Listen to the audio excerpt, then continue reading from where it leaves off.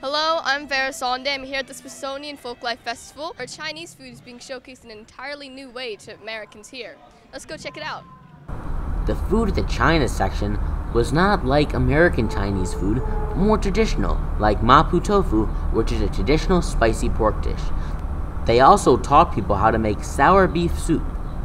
Unlike American Chinese food, traditional Chinese food uses much less sauce and values freshness. So they don't actually use as much sauce or seasoning into it. They rather have the ingredients itself to bring out the, the flavor. Not only is Chinese food being shown here, there's also a whole new different culture that many Americans don't know about. Ken- Kenya. Let's turn it over to Makaya.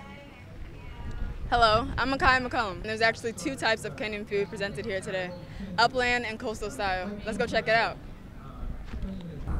At certain booths in the festival, Kenyan natives showed how to make classic dishes from all around the country. Some of the Kenyan foods served include samosas, ugali, a type of cornmeal mash, along with spinach, beef, and fish. Generally, we cook a lot with vegetables. We, we boil our food for a long time, but we also cook very simply. We, we don't over exert too much on the food. Yeah, so the Smithsonian only happens to a country perhaps once in a lifetime.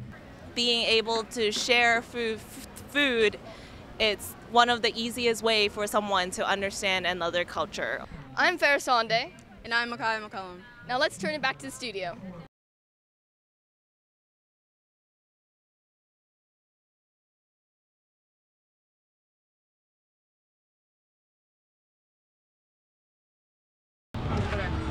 Come on, sir.